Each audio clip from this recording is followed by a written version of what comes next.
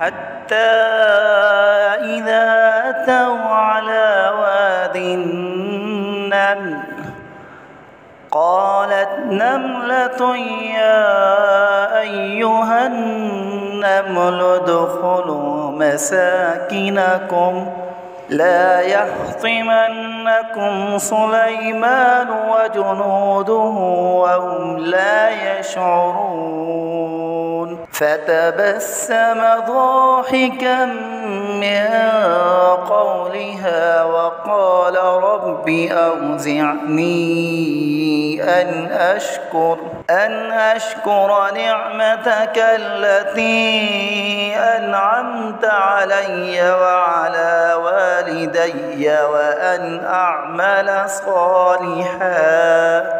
وأن أعمل صالحا ترضاه وأدخلني برحمتك في عبادك الصالحين.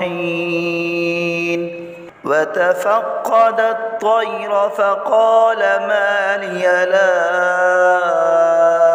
أرى الهدهد. أم كان من الغائبين؟